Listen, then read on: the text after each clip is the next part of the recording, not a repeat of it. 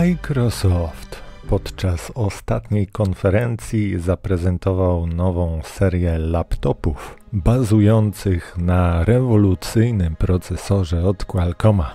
Powszechnie wiadomo, że najwydajniejsze i najszybsze są laptopy od Apple, bazujące na ich procesorze z rodziny M.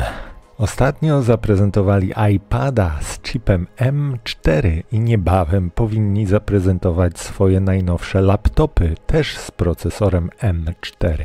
Apple produkuje swoje procesory na licencji brytyjskiej firmy ARM, projektującej super oszczędne architektury głównie do zastosowań mobilnych. Jeśli masz smartfona, to prawie na pewno z chipem na licencji ARM. Jakiś czas temu kilku czołowych inżynierów projektujących procesory dla Apple postanowiło założyć własną firmę Nuvia i zaprojektować procesory na licencji ARM, ale do zastosowań serwerowych. Okazało się, że ich koncept jest na tyle obiecujący, że gigant produkujący procesy do smartfonów firma Qualcomm wykupiła ich za 1,4 miliarda dolarów. Połączyli ich wydajny procesor ze swoim chipem graficznym Adreno, nowym chipem do akceleracji sztucznej inteligencji i kilkoma innymi rozwiązaniami, w których Qualcomm przoduje na rynku.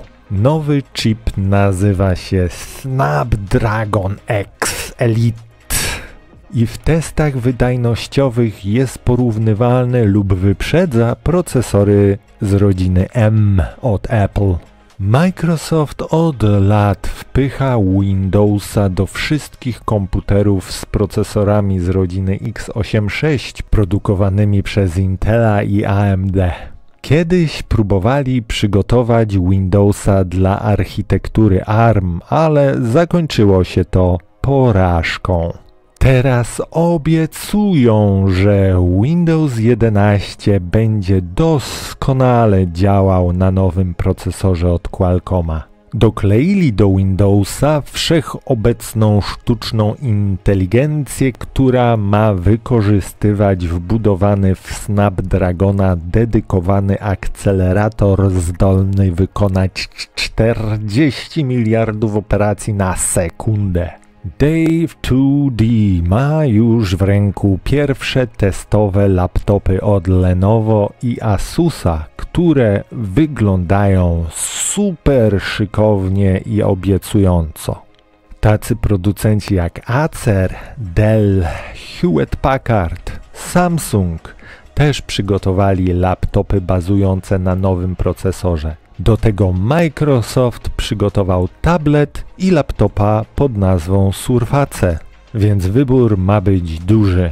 Wszystkie istniejące Windowsowe aplikacje są napisane dla klasycznej architektury x86. Jednak We're also introducing Prism, a new ARM emulator on Windows 11.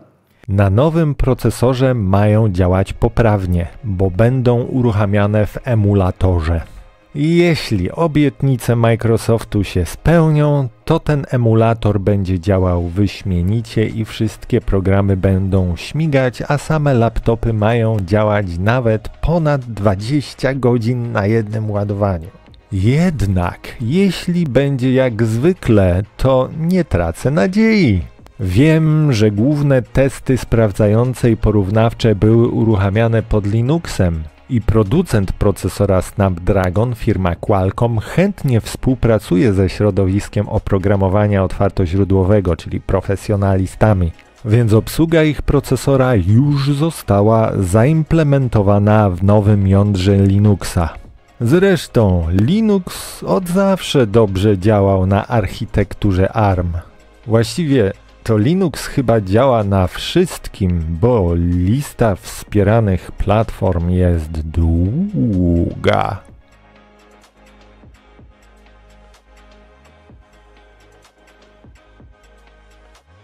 Więc niezależnie od tego, jaką nieudolnością zabłyśnie Microsoft, wygląda na to, że Apple zostanie zdetronizowane i będę mógł bez ograniczeń wykorzystać moc architektury ARM w eleganckim, lekkim i wydajnym formacie, czego życzę również Tobie.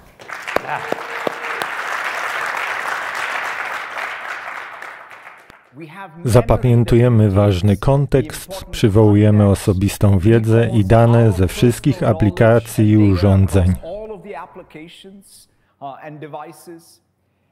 Mamy nowe możliwości wnioskowania, które pomagają nam zrealizować złożone zadania. Kraczamy w nową erę, gdzie komputery nie tylko nas zrozumieją, ale mogą przewidzieć nasze pragnienia i cele. Urządzenia, które mogą nas widzieć, słyszeć, analizować nasze zamiary i nasze otoczenie.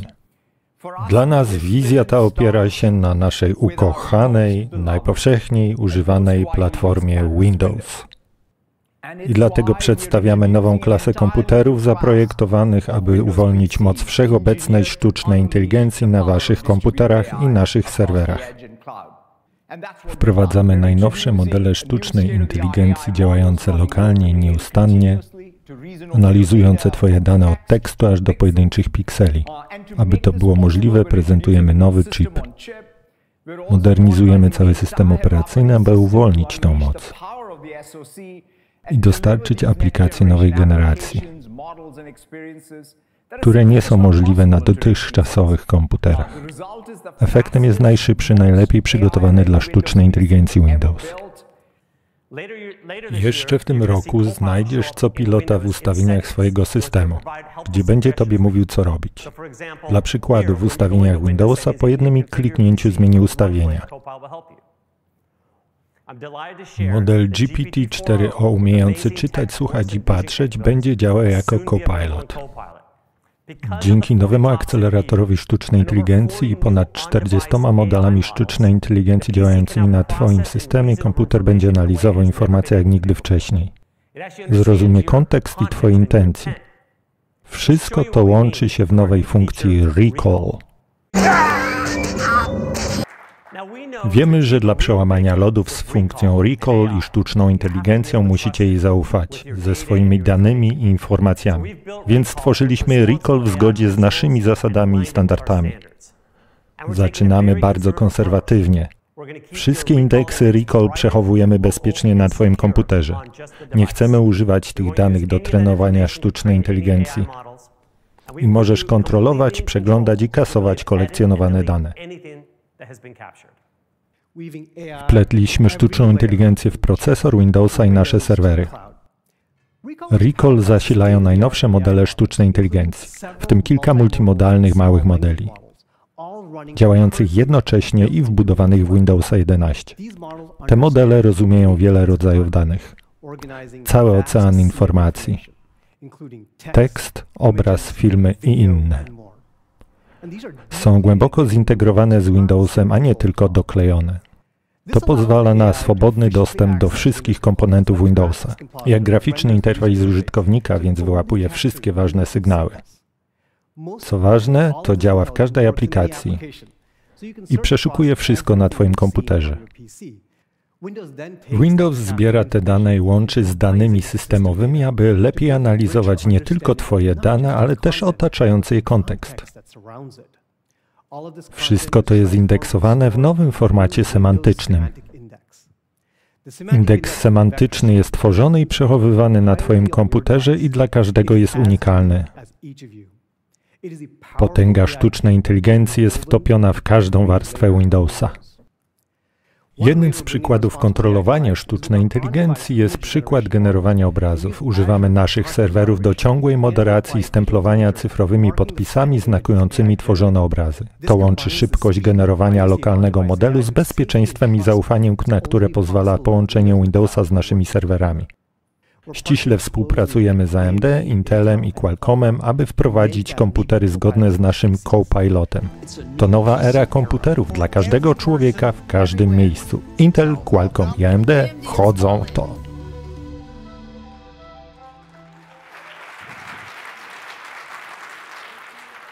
Jak widać, akcelerator wykonujący 40 miliardów operacji na sekundę to może być za mało dla nowego Windowsa. OpenAI, dostawca modeli sztucznej inteligencji, których używa Microsoft, właśnie pożegnali się z całym swoim zespołem odpowiedzialnym za bezpieczeństwo, to znaczy zespół odpowiedzialny za bezpieczeństwo pożegnał się z firmą oraz mózg całej tej operacji, główny inżynier OpenAI Ilya Sutskever też postanowił odejść z firmy. Najwyraźniej osoby zdające sobie sprawę z ryzyka wprowadzania tak złożonych mechanizmów zapamiętujących każdy ruch na Twoim komputerze nie chcą ponosić za to żadnej odpowiedzialności, umywają ręce. Muszę mieć Windowsa 10, bo do polskich urzędów nie da się wysłać dokumentów z jakiegokolwiek innego systemu operacyjnego, więc jakiegoś Windowsa muszę mieć. I jeśli otworzę menadżer zadań w Windowsie, tam cały czas jest jakiś program, który indeksuje moje dane i cały czas jest uruchomione wyszukiwanie. Nie wiem po co. I klikam i próbuję to zamknąć i ciągle się otwiera sam samo i po kilku kliknięciach, gdy w końcu uda mi się to zamknąć i kliknę na menu Start, znowu się włącza wyszukiwanie i znowu nie daje się go wyłączyć. Nie chcę tego, nie potrzebuję indeksowania. Jednak taka jest natura Windowsa, że cały czas indeksuje, cały czas coś wyszukuje i cały czas coś sprawdza. A jak to wygląda w Linuxie, którego używam na co dzień? Mamy tutaj jakieś katalogi klikam prawym przyciskiem na wybrany katalog, pojawia się menu, tak jak w Windowsie i mam tutaj pozycję, której w Windowsie nie znajdziemy, wyszukaj.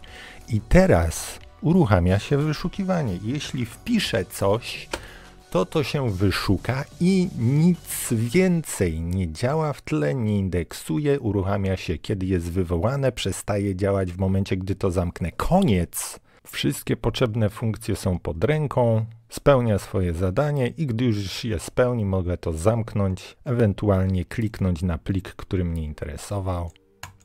I tak to powinno działać.